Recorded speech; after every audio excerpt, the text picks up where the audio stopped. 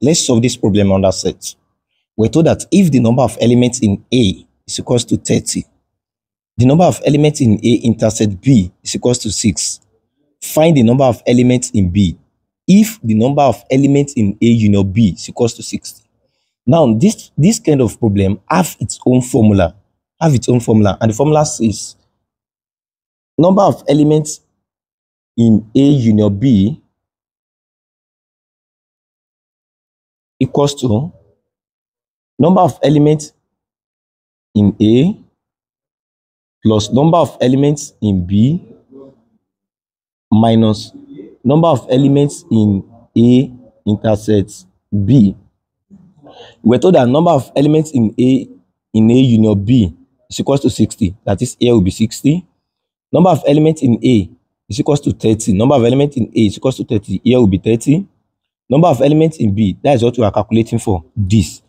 Number of elements in A intersect B is equals to 6. Here will be 6. So let's substitute the parameters given into this formula.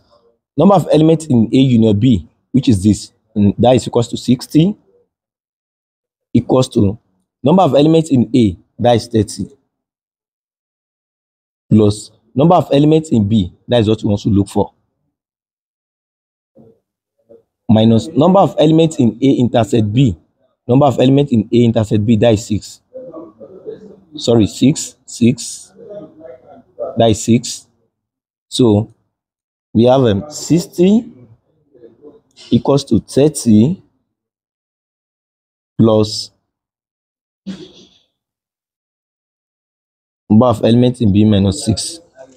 So I want to make this story to the formula. I'll bring 30 to the other side.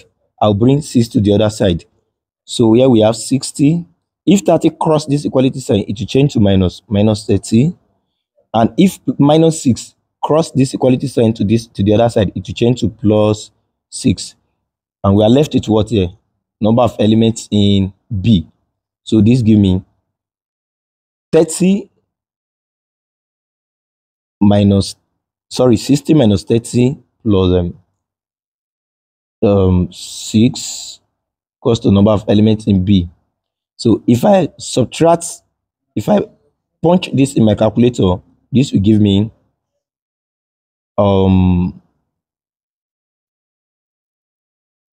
so this give me 36 equals to number of elements in B. Therefore, number of elements in B is equals to what? 36. That is our final answer.